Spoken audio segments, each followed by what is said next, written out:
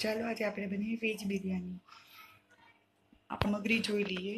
સામગ્રીમાં છે બાસમતી રાઈસ, જેને મેં બે મિનિટ પલાળી ને ઓસાવી લીધા બાફીને ઓસાવી લીધા છે. તેમાં એક નાનું બટાકું બોઇલ કરવામાં નાખી દીધેલું હતું. હવે આ છે મિક્સ વેજીટેબલ તેમાં ફ્લાવર કોબીસ વટાણા ને આ છે કેપ્સિકમ આ છે બિરયાની મસાલો. આ કાશ્મીરી લાલ મરચું. આ છે ટમેટો પ્યુરી છે, જે એની અંદર મેં તજ, લવિંગ અને એલાયચી નાખીને તૈયાર કરી છે. ચલો ફ્રેન્ડ્સ હવે આપણે બનાવીએ વેજ બિરયાની. સૌથી પહેલાં આપણે બે ટેબલ સ્પૂન જેટલું બટર લઈશું. બટર ગરમ થાય, ત્યાર પછી આપણે તેમાં તે વઘાર રેડીશું. ત્યાં સુધી બટરને થોડું ગરમ થવા દઈએ. આની જગ્યાએ જો તમે ધારો તો ઘી પણ લઈ શકો છો. હવે તેની અંદર આ મેં વઘાર તૈયાર કરેલો છે. પેસ્ટ જે મેં પ્યોરી કરી છે તેની અંદર તો બધી વસ્તુ છે. તે જાણો પણ તે અલગથી વઘારમાં પણ આપણે આમાં એલાયચી અને તજ ને બે લવિંગ લઈશું. હવે પહેલાં આપણે તેની અંદર આપણે વઘાર નાખી દઈએ. વઘારને બળવા નથી દેવાનો એટલે તરત જ આપણે પ્યોરી એડ કરી દઈશું.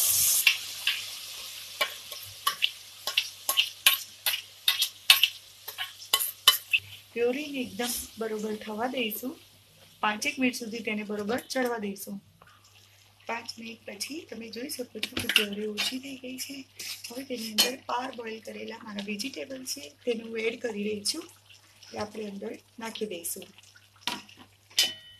કે જે એક સરખા વેજીટેબલ પ્યોરીમાં એડ થઈ જાય. તેની પણ શું કે આ બધી પ્યોરી એક સરખી થઈ ગઈ છે. વેજીટેબલમાં સમજી છે હવે આપણે તેમાં મસાલો કરીશું. સૌથી પહેલાં આપણે તેમાં થોડીક લાઇટર હળદર લઈશું, કે જે હળદીનો સ્વાદ આવે. પછી તેમાં આપણે જે કશ્મીરી મરચું હતું, તે લઈશું, બે ચમચી. પછી તેમાં આપણે બિરયાની મસાલો છે, તે બે ચમચી લઈશું.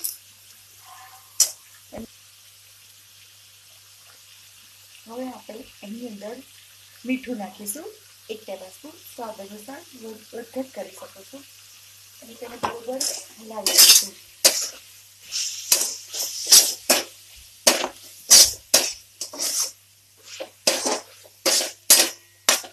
બધો મસાલો બરાબર થઈ જાય. પછી તેની અંદર બે ચમચી જેટલું ફ્રેશ ક્રીમ નાખી શકાય. જો ફ્રેશ ક્રીમ ના હોય તો ઘરની મલાઈ પણ લઈ શકીએ છીએ. ખાલી બે ટેબલ સ્પૂન જેટલી ફ્રેશ ક્રીમ એનાથી થોડી રિચનેસ આવશે અને સ્વાદ સેમ બહાર જેવી બી હવે તેની અંદર આપણે બોઇલ કરેલા જે રાઈસ અગ લીધેલા તે નાખીશું. તેને બરોબર હલાવી ને મિક્સ કરી લઈશું. હવે તમે જોઈ શકો છો કે મસાલો બધું એકબીજામાં સરસ મિક્સ થઈ ગયો છે અને બિરયાની દમ થઈને તૈયાર છે. હવે આપણે તેને સર્વિંગ પ્લેટમાં સર્વ કરીએ. આ દમ બિરયાની